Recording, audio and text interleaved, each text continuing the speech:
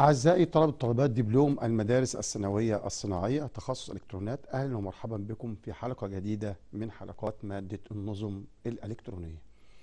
آه كنا بدأنا في الحلقة السابقة شرح السماعات وقلنا في عندنا نوعين من السماعات السماعة الديناميكية أو ذات الملف المتحرك وسميناها اللي هي moving coil speakers والنوع الثاني السماعة البلورية.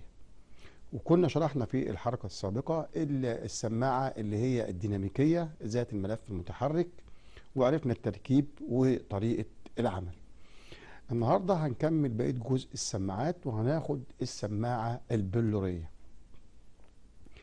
آه لو تفتكروا في الحلقة السابقة لما جينا اتكلمنا على السماعة بتاعت الملف المتحرك أو السماعة الديناميكية قلت لك لو إحنا فاهمين الميكروفون الديناميكي اللي خدناه قبل كده هنفهم السماعة الديناميكية كويس جدا لأن هي عملية عكسية تماما. وبرضه نفس الكلام بنقوله بقى في الحلقة بتاعت النهاردة إني لو إحنا فاهمين الميكروفون البلوري اللي هو الكريستال وأنا عارف إن إحنا فهمناه هنفهم كويس جدا السماعة البلورية أو الكريستالية. وبرضه هي نظرية عكسية. نظرية عكسية في إيه؟ السماعة البلورية خلي بالك بقى معايا. أول ما أسمع كلمة بلورية دي أو كريستالية هنعرف إن في داخلها البلورة أو الكريستالة. زي اللي كنا بنستخدمها في مين؟ في الميكروفون البلوري. طب نرجع كده نفتكر الخصائص بتاعة البلورة الكريستال. في الميكروفون البلوري قلنا آه قلنا الميكروفون البلوري لما بنتكلم أمامه والبلورة داخله طبعا قدام جوه الميكروفون البلوري بيحصل تخلخل وتباعد وتقارب داخل جزيئات البلورة نفسها. ونتيجة التخلخل ده بينتج على طرفي البلورة جهد كهربي بيتناسب مع الصوت اللي هو عمل حركة ميكانيكية على البلوره طيب يبقى في صوت دخل على الميكروفون البلوري زي المايك ده. حصل التخلخل نتج عنه قوة دفع كهربية لأن الميكروفون أساس عمله تحويل الإشارة الصوتية إلى إشارة كهربية. طب ما تيجي نعمل العكس. زي ما عملنا العكس في مين؟ في السماعة الديناميكية. هنعمل عكس في السماعة البلورية في مين؟ في الميكروفون نفسه. الميكروفون أنا دخلت له صوت طلع إشارة كهربية طب أنا لو طبقت على الميكروفون البلوري لو طبقت على طرفي البلورة إشارة كهربية متغيرة إيه اللي هيحصل فيها؟ هتتحرك. آه طب هي لما تتحرك ما الحركة دي بتعمل اهتزازات. والحركة دي بتعمل اهتزازات هوائية. بينتج عنها الصوت. بينتج عنها مين؟ الصوت. اذا الميكروفون الديناميكي لما نيجي نعكس طريقة عمله يبقى سماعة ديناميكية. الميكروفون البلوري أو الكريستال لما نيجي نعكس طريقة عمله أصبح سماعة بلورية. والموضوع بتاع البلوره أو الكريستال هي بلوره معينة طبيعية من ملح اسمه ملح روشيل. وهنشوفها وهنشوف شكلها إيه وهنشوف إيه اللي كمان هيتصنع منها من البلوره نفسها.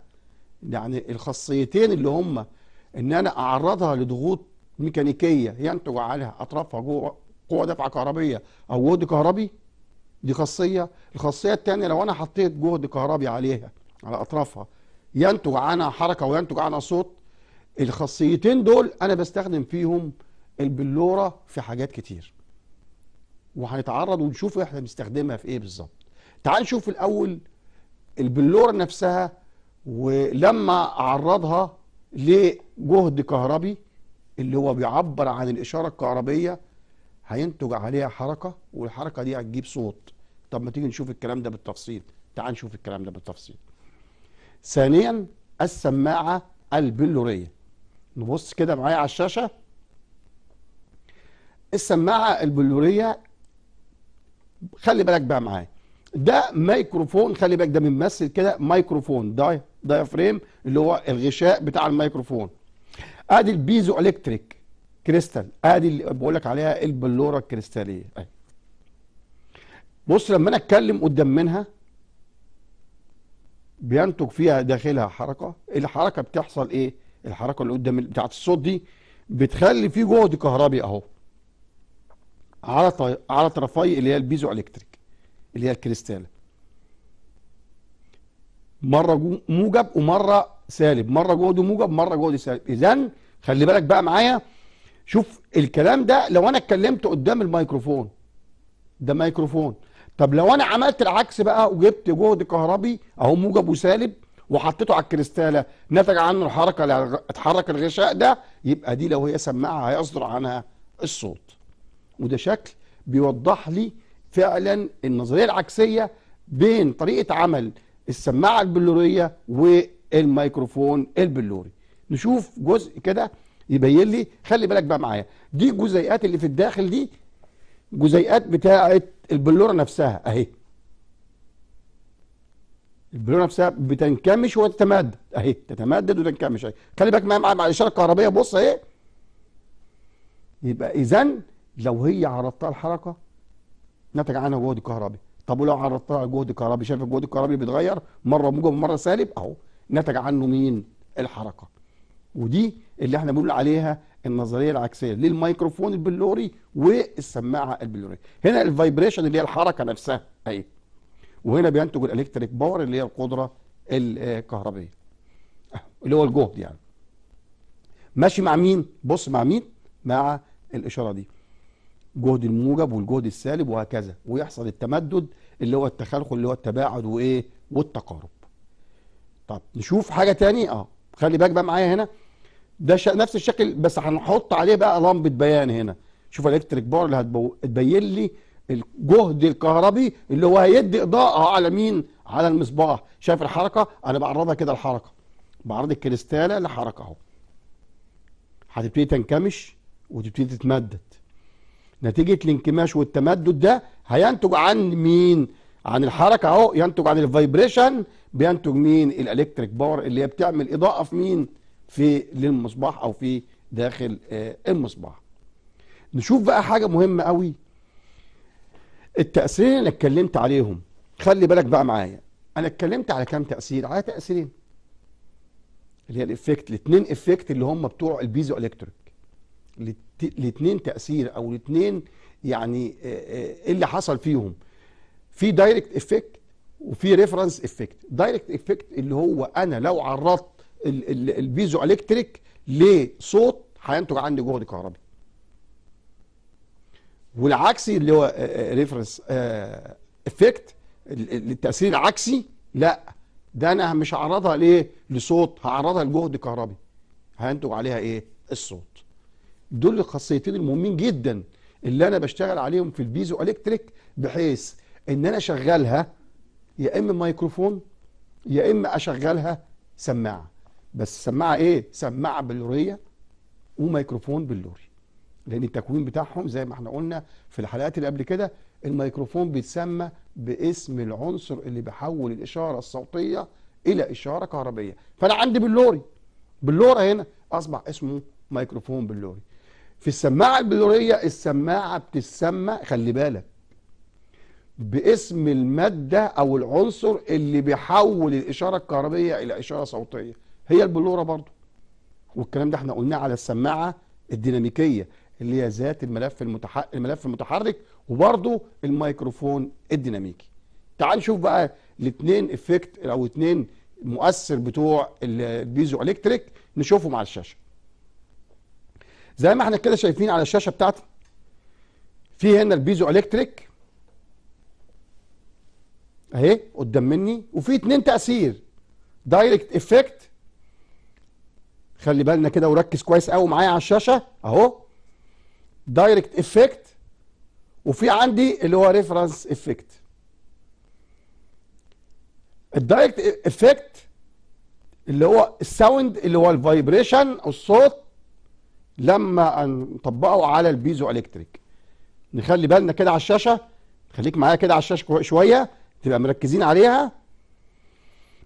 sound vibration وجاي منين؟ ادي ال piezoelectric effect. التأثيرات بتاعت مين؟ اللي هي الكريستال أو ال piezoelectric effect. في direct effect اللي هو التأثير المباشر. إن أنا بحط لها ال sound vibration الحركة الصوتية وبعرضه لمين؟ لل piezoelectric. إيه اللي هيحصل؟ هينتج عندي electric signal اللي هي الإشارة الكهربائية. ال reverse أو reverse العكسي اللي هو effect ال reverse ال effect العكسي أو التأثير العكسي إيه اللي هيحصل؟ إن أنا أعرضها على electric signal وأطبقها على مين؟ على طرفي ال piezoelectric هينتج عنها ال sound vibration يبقى دول الاثنين effect بتوع مين؟ بتوع ال piezoelectric تعال نشوف هنا شكل يوضح لي السماعة أو الجزء اللي هيوضح لي تشغيل أو طريقة عمل السماعة البلوريه آدي electric signal إشارة أهي. أو جهد كهربي أهو.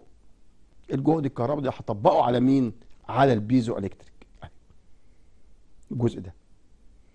شوف الجهد الكهربي مجرد إن أنا حطيت الجهد الكهربي. الجهد الكهربي على فكرة ده متغير. هينتج عنه مين؟ الحركة. والحركة دي تجيب لي مين؟ الصوت. وده ال metal plate أو الحافة المعدنية. تعال نشوف هنا تركيب السماعة البلورية. نشوف كده السماعة البلورية. يوضح الشكل تركيب السماعة البلورية حيث تتكون من بلورة الكوارتز اللي إحنا زي ما إحنا قلنا ال piezoelectric. مصنوعة من اللي هو ملح روشيل. خلي بالك بقى معايا. دي اهي البلورة. وده القطب بتاعها. بص خلي بالك معايا وفي محول المحول ده هو اللي هيجيب لي الإشارة الصوتية. الإشارة الكهربائية المعبرة عن الصوت يعني. يعني بتبقى خارجة من الإشارة بتبقى خارجة من آخر مكبر تيجي على الطرفين دول.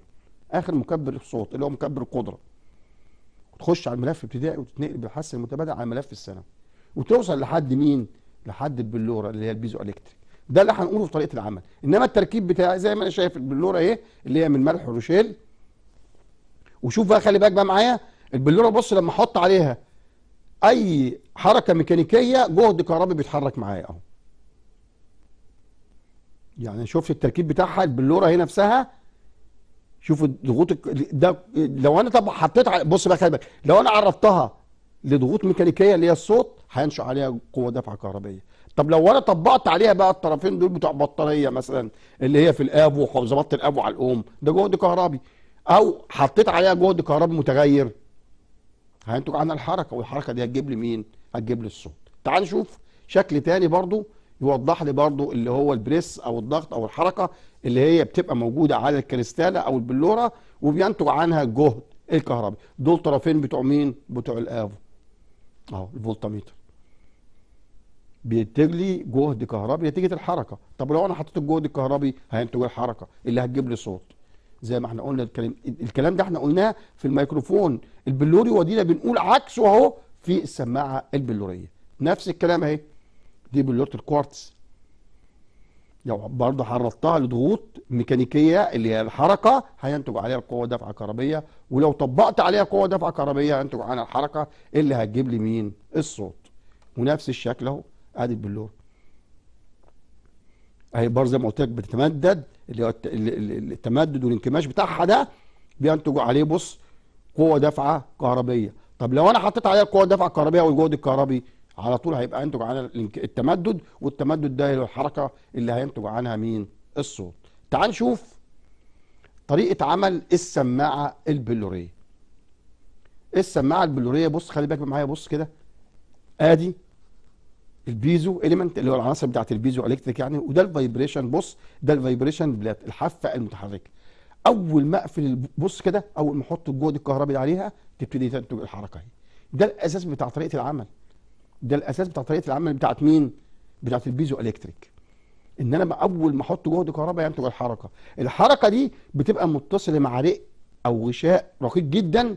نتيجة الحركة دي بيحصل اهتزازات الهوائيه وينتج عنها الصوت اللي هو بيتناسب مع مين؟ مع الجهد الكهربي. تعال نشوف الكلام ده. طريقة العمل بص خلي بالك معايا. عندما يتم توصيل البلورة بالجهد الكهربي الجهد الكهربي ده زي ما قلت لك كده جاي من مكبر على طرفين الملف الابتدائي هيتنقل بالحث متبادل للملف الثانوي.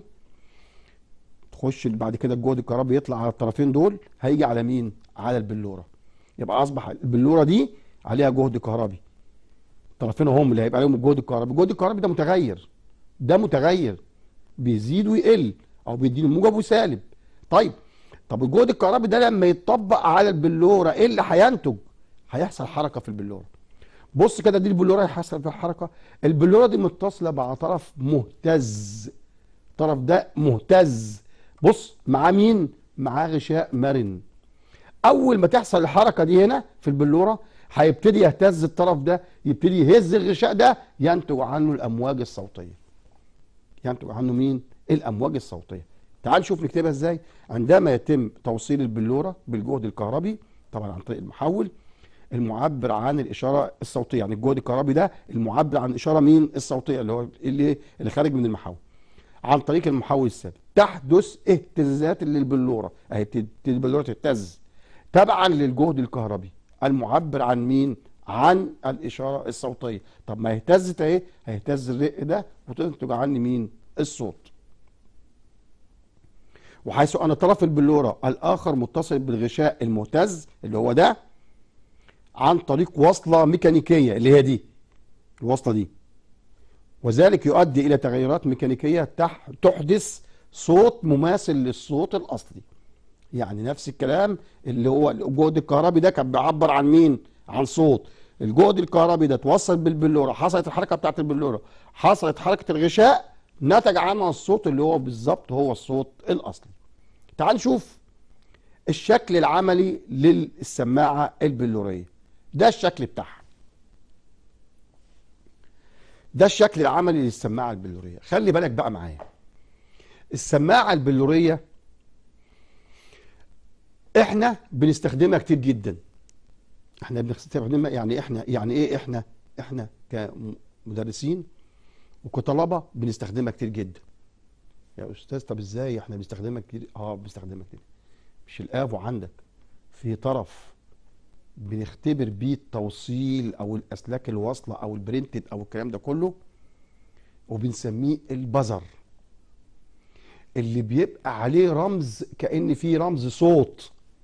طرف كده في الاطراف جنب قياس الأوم والفولت والفولت ال DC وال AC والأوم وال- والتيار الإي سي والدي سي والكلام ده كله بلاقي علامة كده جنب منها علامة صوت أو أحيانا مكتوب عليها buzzer. وبختبر بيها مين؟ ده بختبر بيها الآفو نفسه. يعني أول ما أحط طرفين الآفو وأقفلهم مع بعض يديني صوت صفارة. هي السماعة دي. هي السماعة اللي بقولك عليها. طب بشوف اختبر printed خطوط النحاس اللي على ال printed نفسها بحط في أول طرف وآخر طرف وأبتدي أشوف هسمع صوت الصفاره يبقى تمام. واختبر بيها أطراف الآفو. لأن أطراف الآفو ممكن تكون فيها مقطوعة من تحت البلاستيك من تحت ال- cover أو الغلاف بتاعه. أول ما أظبط الآفو على ال buzzer ده وأروح قافل الطرفين يديني صوت صفارة. الصفارة دي جت منين؟ من السماعة دي. اللي إحنا بنسميها سماعة البزر. طيب ده الشكل بتاعها. ده إحنا هنج- هن- هنعرف كمان هنختبرها إزاي. يعني السماعة نفسها البلورية هنعرف هنختبرها إزاي. ونشوف الخواص بتاعتها ونشوف الأشكال المختلفة لمين؟ للسماعة البلورية. نرجع للشاشة مرة تانية. ونشوف على الشاشة السماعة البلورية شكلها أهو الطرفين بتوعها اهم تعال نشوف أشكال تاني أدي كلها أشكال. بتاعت السماعات مين؟ البلورية. أهي. أهي كل دي أشكال. وبرضه في شكل تاني أهو عدة أشكال تانية كل ادي البيزو شايف؟ الصورة الأولانية ما كانت موضحة الجزء ده أهو أهو. كل دي أشكال للسماعة البلورية. تعال نشوف بقى العناصر اللي بتدخل في تركيبها كريستالة ملح روشيل. ركز بقى معايا. الكريستالة أو البلورة اللي إحنا قلنا عليها في البداية خالص اللي إحنا استخدمناها في السماعة البلورية هل هي بتستخدم في السماعة البلورية بس؟ لا.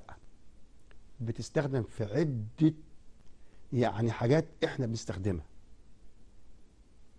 من ضمنها من ضمنها خلي بالك كويس قوي بتستخدم في الولاعات العادية. الولاعات وبتستخدم في الإشعال الذاتي بتاع البوتاجاز.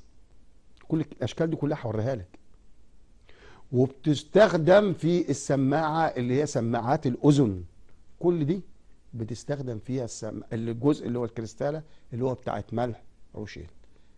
تعال نشوف الأشكال دي ونشوف شكلها شكل ال- الكريستالة نفسها ونشوف سماعة الأذن اللي بستخدمها في آه، جهاز الاستقبال البسيط اللي هنتكلم عليه بعد كده. سماعة أذن. في سماعة عادية مش الهيدفون لا سماعة عادية صغيرة تحط كده زي دي. بس مش بتاعة ال- ال- التليفون أو بتاعة الموبايل لا في سماعة لجهاز الراديو نفسه. يعني برضه هنقول لك يعني حاجة معلومة بس كانت موجودة زمان والناس اللي هم يعني زي حياتنا كده كبار في السن زمان كان بيجي جهاز الراديو جهاز الراديو بيجي في العلبة بتاعته وبيجي معاه في كيس كده سماعة صغيرة بسلك. سماعة صغيرة بسلك. زي سماعة داخلية. توصل السماعة بجهاز ولو انت عايز تسمع ومش عايز تسمع حد حواليك بتحط السماعة دي الطرف بتاع السماعة وتسمع انت لوحدك. لو انت قاعد في وسط أي حد. برضو نفس الكلام برضو هنشوف شكلها إيه. وعلى فكرة السماعة دي بستخدمها تاني بقول لك في جهاز الاستقبال البسيط اللي هو أول نوع من أجهزة الراديو اتعمل. وده هيدرسه إن شاء الله بإذن الله يا إما إن شاء الله في الحلقة دي يا إما في الحلقة اللي جاية. طب تعال نشوف الأشكال الأول اللي هي بيخش في تركيبها كريستالة الملح روشيل اللي هي البلورة. تعال نشوف الكلام ده على الشاشة. العناصر اللي تدخل في تركيبها كريستالة ملح روشيل. خلي بالك بقى معايا. في عندنا هنا سبع أجزاء أو سبع عناصر. أدي الأول الشكل الأولاني ده هو مين؟ هو الملح روشيل. دي الكريستاله اتنين وتلاتة دي. دي ولاعات اللي هي ولاعات إشعال كهروديناميكي اللي بنسميها جزء من الولاعات طيب الجزء رقم أربعة ده أو الشكل رقم أربعة ده ده جهاز إشعال كهروديناميكي وده اللي بستخدمه الإشعال الذاتي في أجهزة البوتاجاز. رقم خمسة دي دي السماعة البلورية أهي بتاعت ال buzzer أو ال piezoelectric. ودي سماعة وده بلور على شكل قرص. وآدي رقم سبعة اللي قلت لك عليها سماعة الأذن. أهي. اللي بتستخدم مع جهاز الاستقبال البسيط. يبقى رقم واحد الكريستالة رقم اثنين وثلاثة اللي هي الولاعات اللي هي بتاعت الاشعال الكهروديناميكي رقم أربعة جهاز الاشعال الكهروديناميكي اللي هو برضه الذاتي اللي هو بيستخدم في أجهزة البوتاجاز آه الصفاره الديناميكية اللي هي ال piezo أهي اللي هي ال buzzer اللي برضه اللي, إحنا بنقول عليها دي الصفاره اللي قلت لك بستخدمها في جهاز مين؟ في جهاز الآفو وفي اجهزه ال multimeter ستة دبلور القرص ديناميكي اهي. سبعة سماعة أذن كريستالية تستخدم لأجهزة الراديو البلورية اللي هي البسيطة اللي هو دي. وده اللي إحنا هنشوفه بعد كده. تعال نشوف بقى اختبار السماعة الدينامي السماعة البلورية. آسف. ركز بقى معايا. السماعة البلورية إحنا عشان نختبرها. طب إحنا نفتكر كده ونرجع كده بدماغنا ورا شوية في الحلقة السابقة. اختبرنا السماعة الديناميكية ذات الملف المتحرك. لما جينا اختبرناها اختبرنا إيه فيها بالظبط اللي كان يقول لي السماعة دي سليمة ولا مش سليمة؟ هو الموفنج كويل الملف بتاع السماعة. ملف السماعة. اللي إحنا قلنا ده بتتقاس ليه ليه مقاومة معينة. كام أوم؟ 8 أوم؟ 12 أوم؟ الكلام ده كله. هو ده اللي بيحكم لي إذا كانت السماعة شغالة ولا مش شغالة. ببتدي اقيسه بيديني ام معين. آه لا خلاص هو مجرد إن اداني قياس واداني ام معين بقول سليم. في حالة القطع التلف الملف بيبقى إيه؟ قطع في السلك. مش حل كده قطع في السلك يبقى خلاص. مفيش وصل مفيش حركة مش هيتحرك داخل المجال يبقى مفيش صوت.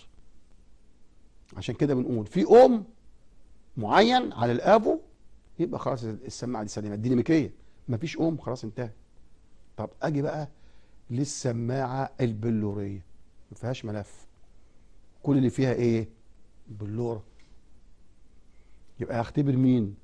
آه أختبر البلوره هتختبر البلورة إزاي؟ هختبر البلورة دي عن طريق الخصائص بتاعتها. هي الخصائص بتاعتها فاكرين لسه قايلين في بداية الحلقة خاصيتين.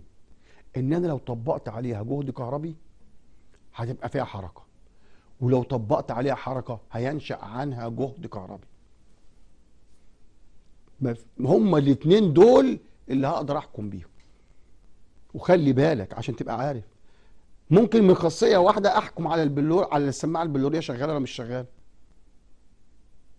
ما أنا هعرضها لإيه؟ لجهد كهربي. نتج عنها حركة سليمة. طب لأ هعمل عليها حركة بإيدي. قست على اطرافها لقيت في جهد كهرباء يبقى سليم.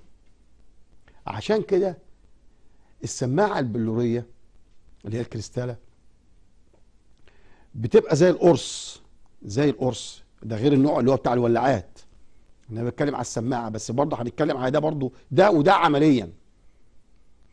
يعني لما أجي أمسك القرص وأدوس عليه اللي هي الكريستالة نفسها وفي طرفين المفروض أنا كده بعمل ضغط ميكانيكي. يعني كأني بحط عليها صوت أو بحط لها بحط أطبق عليها حركة ميكانيكية.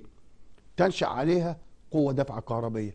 القوة الدفعه الكهربية دي أختبرها إزاي؟ بحاجتين. يا إما حاجة بتنور ومفيش عندي غير الليد. عشان قوة الدفعه الكهربيه مش كبيرة. يا إما آخد الطرفين بتوع السماعة البولارية دول وأوصلهم على مين؟ على الآفو وأحطه على فولت دي سي وأشوف الجهد الكهربي مع الحركة بتاعتي. في جهد كهربي وبيزيد ويقل مع الحركة ولا لأ؟ يبقى دول الطريقتين أو الطريقة اللي أنا هختبر بيها السماعة البلوريه تعالوا نشوف الكلام ده عمل إيه. اختبار السماعة البلورية. هشوف بقى أنواع من اللي إحنا كنا لسه بنتكلم عليهم. شفناهم في الأشكال اللي بتخش فيها أو في تركيبها ملح روشيل. في عندي طبعا في عندي الآفو وفي عندي جزء أهو زي بالظبط اللي هو اللي, اللي بنتعرض له برضه زي هو هو برضه ملح روشيل. شكلين اهم شكل القرص أهو وده شكل اللي هو زي الضغط الميكانيكي. نضغط عليه يدينا جهد كهربي. بص هنا بقى خلي بالك معايا. إيه اللي أنا هعمله هنا؟ واضح هنا إن أنا عندي ده الجزء اللي هو داخله البلورة وده ليد. وده عامل زي الولاعة بالظبط. فأنا بضغط عليه بعرضه الحركة.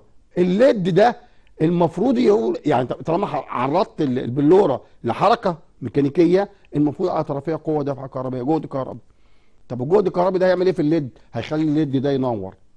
طب أنا بحرك يعني خلي بالك بقى معايا. بص أنا هعمل إيه؟ همسك ال LED الجزء اللي في البلورة ده هبتدي أضغطه مرة واثنين وثلاثة. الأطراف بتاعته واصلة مع مين؟ مع ال LED. مع الحركة بتاعت ال LED المفروض في مع الحركة الميكانيكية اللي على البلورة دي المفروض في جهد كهربي يخلي ال LED ينور ويطفي. دي عشان أختبرها. ممكن اخد الطرفين دول بقى اللي هم بتوع اللي واصلين على ال LED اخدهم على الافو واشوف الجهد الكهربي على شاشة الافو طب تعال نشوف الكلام ده تعال نشوف الكلام ده. نرجع للشاشة مرة ثانية ونشوف هنعمل إيه في الحركة الديناميكية. أهي. أنا وصلت ال LED ده مع الجزء المتحرك وأشوف. أهو الجزء من الضغط. ده البلورة داخل الجزء ده على فكرة. البلورة داخل الجزء الأسود ده. هشوف ناتج عنده الجهد بقى الليد بدأ ينور يبقى فعلا أنا عرضتها لحركة ميكانيكية حصلت الجهد الكهربي اللي ينور. طب لو أنا حطيتها بقى جهد كهربي عليها يبقى يحصل الحركة اللي هتنتج على مين؟ الصوت. يبقى دي طريقة ممكن أنا أختبر بيها برضو الميكروفون البلوري والسماعة البلورية. أدي السماعة البلورية أهي اللي زي ما قلت لك كده بنستخدمها كمان في أجهزة ال multimeter أو الأفوميتر. بص هنضغط هضغط على القرص بقى.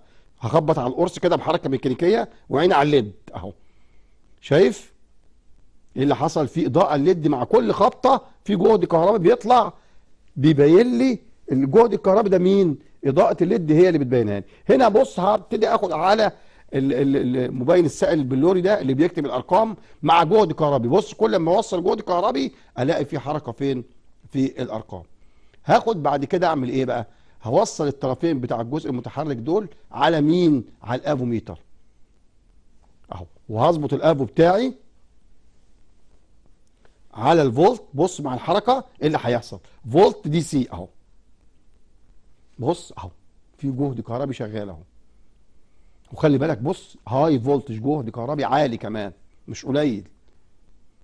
وده الجزء اللي في اللي بيستخدم في الولاعات اللي بيحدث عن طريقه اللي هي إشعال أو الجزء اللي بي اللي هو آه، الجزء اللي هو بتاع النار اللي بتطلع من الولاعة نفسها. ده اللي بينتج. وهو كده لو عرضتها للجسم على فكرة بتبتدي تحس بتنميل في الصباع نتيجة الجهد الكهربي. أو دول الجزئين اللي بتكلم عليهم اللي هم أساسا اللي هم ال piezoelectric أو اللي هم داخل في تركيبهم الكريستالة أو آه، ملح روشيل. ادي الجزء الاولاني وزي ما قلت لك ده بيستخدم في الولاعات والجزء الثاني اللي هو بيستخدم في اجهزة ال multimeter ودول كل الاثنين دول داخلهم وأساس طريقة عملهم وأساس تركيبهم مين؟ اللي هو الملح روشيل أو الكريستاله نفسها. أي. والجزء النظري هنبتدي نرسمه ونشوفه بيمثل لي إيه أهو. يبقى ده الجزء اللي أنا بتكلم فيه اللي هو خاص بمين؟ بال- خاص بعملية الكريستاله بتشتغل إزاي وإزاي آه، بختبرها. في جزء معين هقول لك عليه وهتفتكره يعني من من قبل كده من فترة آه، مش بنقول ك يعني آه، كتفاصيل موضوع إنما بنتكلم على طريقة عمل طريقة عمل. لو جينا خلي بالك بقى معايا افتكر معايا كده زمان كان في أنواع معينة من الأحس... من الأحذية اللي بتتلبس فمع الضغطة مع الحركة تبص تلاقي الأحذية دي فيها بتدي إضاءة. تدي إضاءة. جت منين الإضاءة دي؟ هي هي نفسها البيزو إلكتريك أو الجزء اللي داخل فيه الكريستالة أو البلوره نفسها. مع الحركة زي ما قلت لك بيضغط زي ما شفنا كده ضغطنا عليها وأنا حاطط ليد الليد ده حصل له إيه؟ عمل الإضاءة بتاعتها. تعال نشوف برضو طريقة تاني بنختبر بيها السماعة البلورية ونبتدي نفك من أول ما نبتدي نفك السماعة البلورية من الغلاف بتاعها ونشيلها من المادة اللي إحنا بنثبتها داخل الغلاف بتاعها. تعال نشوف الكلام ده. نشوف كده على الشاشة شكل السماعة اهي اللي هي البيزو الكتريك هنبتدي نفكها. ونشوف داخلها في إيه بالظبط والجزء اللي هو في داخلها ده هو اللي اختبره اختبره نفسه. يعني كده اختبر السماعة نفسها. هذه الأطراف بتاعتي اللي هيوصل عليها الجهد الكهربي. وهبتدي أفك أشيل الغطا كفر بتاعها. وأنا بشيل الكفر بالراحة عشان ما ابتديش يعني أحاول آه، آه، أعمل أي تلف في الجزء الداخلي بتاع مين؟ بتاع السماعة البلورية. بيبتدي يشتغل بحذر جدا واحدة واحدة بيبتدي يتشال الكفر ده كله. من الطرف الثاني اللي بعد كده اتشال الكفر اهو. في مادة بقى عندنا بتبقى مادة لاصقة اللي بثبت بيها الجزء بتاع البلورة أو الكريستالة داخل الكفر نفسه. هبتدي أشيلها أهي. أدي المادة دي هي اللي بتثبت الجزء داخل الكفر أهو ثابت أهو. فبعمل إيه؟ فابتدي أشيل الأول الجزء ده وبعدين أبتدي آه، أشيلها من الطرف يعني من الطرف التاني ابتدي ازقها وابتدي تبتدي إيه؟ تطلع معايا أهو. كل دي مادة اللي هي بثبت بيها الجزء الأساسي بتاعي اللي هو آه، داخله الكريستالة أو ال- ال- الملح والشيل أهو. وبرضه زي ما قلت لك بحذر عشان ما السلك نفسه كمان ما يتقطعش مني لأنه هشتغل عليه بعد كده وهو اللي هيختبر عن طريقه. ابتدي أشيل المادة تاني لو في جزء تاني فاضل بنبتدي نشيله. وبحذر. يعني بسن المفك كده ومش ب يعني ب ب بتلف لأ. بحاول أشيل بس المادة. كأني بقشرها طلعت أهي سليمة ما فيهاش أي حاجة. وهبتدي بقى أختبرها. زي الاختبار اللي إحنا عملناه المرة اللي فاتت. الأول هبتدي أشيل العازل بتاع الأسلاك بتاعها. أهو. بتاع الطرف ال- الأحمر وبرضه نفس الكلام الطرف الأسود. ابتدي أشيل العازل بتاعه لأن العازل ده هو اللي ممكن اوصل عليه ليد أو أوصله بجهاز آفو. هشوف كده برضه. أدي جهاز الآفو أهو بتاعي وظبطته على إيه؟ الفولت الأول أظبط الاب أهو ده البزر اللي بقول لك عليه اللي. بص ده اللي داخل الس... بص خلي بالك معايا عملت أنا إيه كده؟ ظبطت على البزر اللي هو بيديني صوت اللي هو السماعة الداخلية اللي جوه الآفو. وقفلت الطرفين على بعض فهسمع صوت واشوف قراية دليل على إن الأطراف بتاعت الافو اللي أنا شغال بيها سليمة والافو بتاعي سليم. هبتدي أكمل أهو. اتأكدت تماما أروح جايب ال- المؤشر على فولت DC أهو. هنجيبه على 20 فولت أهو 20 فولت DC وابتدي أوصل الطرفين دول على الجزء بتاع آه، السماعة البلورية أهو. هبتدي برضو الف السلك حوالين الطرفين الطرف الأحمر والطرف الأسود. طبعا الأحمر مع الأحمر والأسود مع الأسود. وابتدي بعد كده آخد الطرف الثاني أهو الأحمر. برضه بوصله مع طرف الافو الثاني طبعا زي ما قلت لك ظابط الافو على فولت DC على فولت DC. لأن هو بيبقى فولت DC أنا اللي بقطعه عن طريق مين؟ عن طريق الحركة. اللي بعرضها لمين؟ للبلورة نفسها. هبتدي أنا وصلت الطرفين اهم دلوقتي مع أطراف الافو طرفين السماعة مع أطراف الافو وأبتدي بص أضغط بص على اليه الافو شكلها إيه؟ أهي. جهدي بيزيد أهو. مع مين؟ مع كل ضغطة. مع كل إيه؟ ضغطة. طبعا ممكن أستغنى عن الافو وأحط إيه تاني؟ أحط ال LED. يعني ال LED برضه هيديني اضاءة اللي هي مكان التوصيل مع الآفو. خلي بالك بقى معايا. كده أنا اختبرت ال- ال- السماعة عن طريق مين؟ عن طريق الآفو. ضغطت على القرص بتاع السماعة وأطراف الآفو واصلة مع السماعة وشفت إن في فولت بيتقري على المؤشر أو على شاشة آه، ال- الآفو. الطرفين اللي واصلين مع الافو دول هشيل أطراف الافو وأروح موصلهم مع LED زي ما عملنا المرة اللي فاتت. وأبتدي أضغط تاني وأشوف إضاءة ال LED. وخلي بالك بقى معايا خلي بالك كويس قوي معايا. لما تيجي تختبر السماعة البلورية عن طريق ال LED اوعى توصل ال LED وتضغط. خلي بالك بقى معايا من النقطة دي كويس قوي وتضغط لقيت ال LED مش مدي إضاءة. هتقول السماعة دي تالفة. لا لسه ما حكمناش. يا إما توصلها على فولتميتر افو وتوصلها على فولت DC وتشوف الاقي ولا لأ. طب هقول لك على حاجة.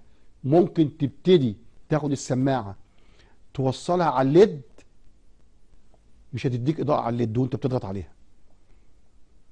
لا أخدت الطرفين التانيين ووصلتهم بالافو وظبطت الافو على الفولت DC وضغطت على السماعة بصيت لقيته بيقرأ فولت. الله! ده كده ال LED هو اللي بايظ.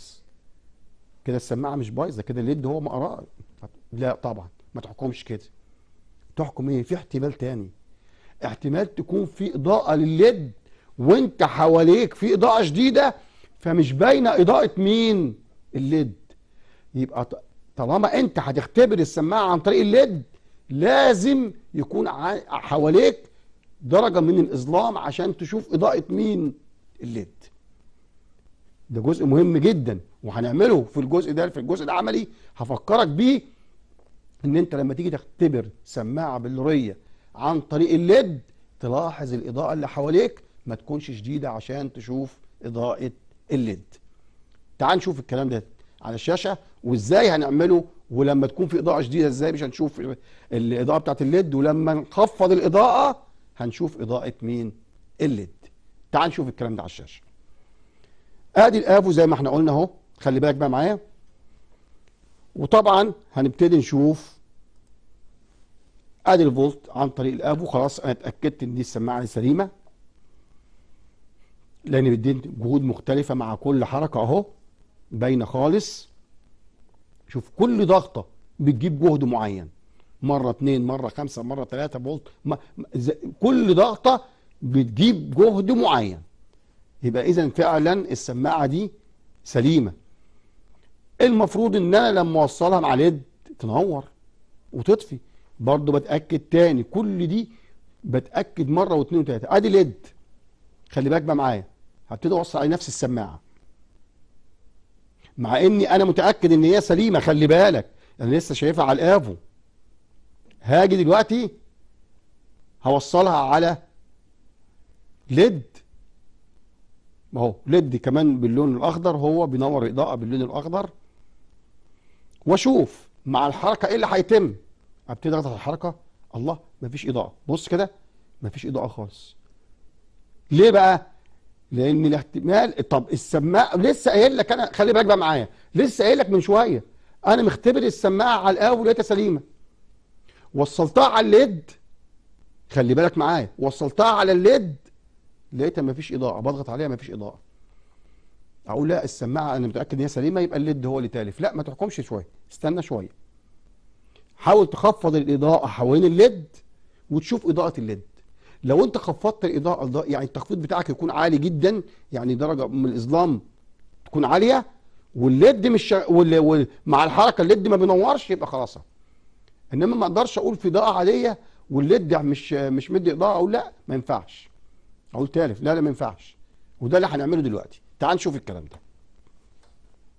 زي ما قلت لك في الإضاءة العادية أهو الليد مش مدي إضاءة مع إن أنا متأكد إن السماعة دي سليمة ولسه مختبرها أهو. مفيش ما خلاص مفيش إضاءة. بص بقى لما خفضت الإضاءة إيه اللي حصل؟ أهو بدأت تظهر إضاءة الليد. خفضت الإضاءة حوالين الشغل بتاعي الحجرة اللي أنا قاعد فيها أو حوالين المكتب اللي أنا قاعد فيه. بص بقى فيه إضاءة. يبقى ده اهو. ده بالنسبة لمين؟ للجزء ده. اهو. اهو. باينة خالص. جبنا LED لونه أحمر أهو نفس الكلام اشتغل معايا. اهو. يبقى أنا كده اختبرت السماعة بطريقتين عن طريق ال AVO وظبطته على الفولت DC وفي نفس الوقت اختبرته برضه عن طريق مين؟ عن طريق الجزء اللي خاص بالاثنين LED. ولازم أراعي الإضاءة حوالين مين؟ حوالين الاختبار بتاعي عليه السماعة عشان أتأكد إن في إضاءة كافية تبي أو في درجة إظلام كافية تبين لي إضاءة ال LED. إضاءة مين؟ آه ال LED. هنتكلم بقى دلوقتي على جزء مهم جدا اللي هنبتدي نشرح فيه عدد من الحلقات اللي هو أجهزة الاستقبال الإذاعية. إحنا خلي بالك كده اتكلمنا على الميكروفونات واتكلمنا على السماعات واتكلمنا على أجهزة الإرسال واتكلمنا على أنواعها ال AM وال FM ورسم تخطيطي ودوائر للنوعين واتكلمنا على كل أنواع الميكروفونات واتكلمنا على كل أنواع أو على أنواع السماعات. هنبتدي نتكلم على أجهزة الاستقبال الإذاعية اللي هي أجهزة الراديو. هنتكلم عليها بالتفصيل. من أول ما هنتكلم على أنواعها وأجهزة الاستقبال الإذاعية خلي بالك بقى معايا في منها نوعين مهمين جدا. أجهزة استقبال AM وأجهزة استقبال FM وهنشرحهم بالتفصيل. بس قبل ما نتكلم في الأنواع بتاع أجهزة الاستقبال ونبتدي نشرحها يا ترى إحنا فكرنا إيه هي وظيفة جهاز الاستقبال؟ جهاز الراديو ده. إيه الوظائف اللي بيقوم بيها؟ أو إيه العمليات اللي بيقوم بيها؟ ما هو ده جهاز دي وظيفة. وظيفته إيه؟ هتقول لي وظيفته خلي بالك كويس قوي من الكلام اللي بقوله. هتقول لي وظيفته ان إحنا بنسمع المحطات كلها وبنسمع محطات من مختلف الدول اللي حوالينا وبنسمع البرامج الرياضية وبنسمع كل حاجة. عظيم. كويس قوي. انت بتسمع الحاجات دي كويس قوي. يا ترى الحاجات دي صوتها ده وصل لك إزاي؟ إيه اللي حصل جوه الجهاز؟ إيه الوظائف اللي اللي جوه الجهاز اللي قام بيها الجهاز عشان يوصل لك الصوت ده؟ بتاع أي صوت من اللي انت قلت لنا عليه. في عدة وظائف أو في عدة عمليات بتقوم بيها أجهزة الاستقبال. أجهزة الاستقبال بتقوم بيها إزاي؟ بتقوم بيها عشان توصل لك الصوت.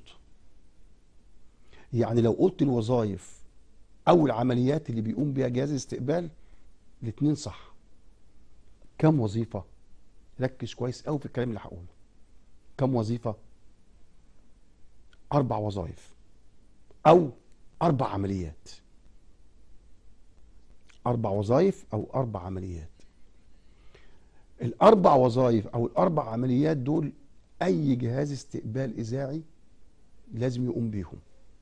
ويكونوا لازم لازم وشرط أساسي إن الأربع عمليات دول لازم يتموا داخل جهاز الاستقبال.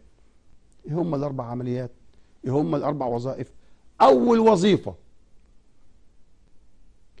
إنه يستقبل الموجات الكهرومغناطيسية اللي جاية من محطة الإرسال ويحولها إلى موجات كهربية.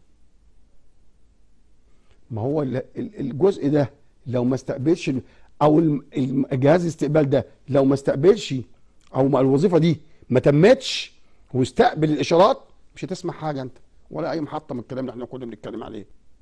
طب مين اللي بيعمل الموضوع ده؟ الهوائي. يبقى دي أول حاجة. الحاجة الثانية أنت بتسمع المحطات دي كلها مع بعضها؟ مع كل الأصوات بتخش في بعضها ولا بتسمع صوت واحدة اللي بختاره. آه صح. هتقول لي أنا بسمع الصوت اللي بختاره. بغير في المفتاح أو المكثف اللي هنقول عليه بعد كده المفتاح اللي إحنا بنقول عليه ونختار المحطة اللي إحنا عايزينها. اذا في وظيفة جوه في الجهاز اسمها الاختيار. بختار بيها المحطة اللي أنا عايزها ودي بتقوم بيها دايرة الاختيار. ادي الوظيفة الثانية الوظيفة الثالثه مش إحنا كنا بنبعت في محطات الإرسال الإشارة الصوتية أو الإشارة الكهربائيه المعبرة عن الصوت وبحطها على موجة تردد عالي عشان تروح لحد جهاز الاستقبال فاكرين الكلام ده؟ آه فاكرينه. طب إحنا بنسمع موجة التردد العالي لا. ده موجة التردد العالي وظيفتها إن هي توصل الإشارة الصوتية بس لحد جهاز الاستقبال. وبعدين لازم نفصل الموجة بتاع التردد العالي عن موجة التردد المنخفض موجة التردد المنخفض هي اللي بنسمعها. يبقى لازم في وظيفة تانية بتفصل موجة التردد العالي عن موجة التردد المنخفض اللي أنا بسمعها. ودي اسمها دايرة اسمها دايرة الكشف. يبقى دي في وظيفة للهوائي استقبال الموجات وتحويلها من كهرومغناطيسيه كهربيه في وظيفة لدايرة الاختيار بختار بيها المحطة اللي أنا عايزها. في وظيفة لدايرة الكشف الثالثه ثالث وظيفة إيه؟ اللي بتفصل الموجة الحاملة ذات التردد العالي عن الموجة المحمولة ذات التردد المنخفض الوظيفة الرابعة أو العملية الرابعة السماعة. ان أنا احول الإشارة الكهربية اللي كانت اللي جاية لي لإشارة صوتية اسمعها على السماعة. مين اللي هيعمل كده؟ السماعة. لسه من شوية كنا بنشرح في السماعات. يبقى السماعة وظيفتها تحويل الإشارة الكهربية إلى إشارة صوتية مسموعة. يبقى في عندي أربع عمليات أو أربع وظائف لأجهزة الاستقبال الإذاعية. استقبال الموجات وتحويلها من كهرومغناطيسيه لكهربيه ده بيقوم بيها الهوائي. اختيار المحطة المرغوبة ورفض باقي المحطات بتقوم بها دايرة الاختيار. فصل الموجة الحاملة ذات التردد العالي عن الموجة المحمولة ذات التردد المنخفض وبتقوم بها دايرة الكشف. تحويل الإشارة الكهربية إلى إشارة صوتية مسموعة ودي بتقوم بها مين؟ السماعة. اذا أستنتج من كده إيه؟ لازم يكون موجود في أجهزة الاستقبال الإذاعية الأجزاء اللي أنا قلت عليهم الأربعة عشان يحققوا الوظائف دول. إيه هم دول؟ الهوائي دايرة الاختيار دايرة الكشف السماعة. غير كده مش هيبقى فيه الوظائف. مش هسمع الاصوات بتاعت المحطات اللي أنا عايزها. يعني معنى كده خلي بالك من الكلام ده مهم جدا. وهرجع تاني أفكرك أقول لك لما بنفهم جزء بيفيدنا كتير في الجزء اللي بعده. بيفيدنا كتير في فهم الجزء اللي بعده. اذا المفروض إن أنا أبص على أي جهاز استقبال إذاعي. خلي بالك استقبال إذاعي. ما هو مش هيبقى استقبال غير لما يحقق العمليات والوظائف عشان أسمع الصوت. طب يحققهم إزاي؟ يبقى لازم أشوف داخل جهاز الاستقبال أساسي الأربع حاجات. إيه هما؟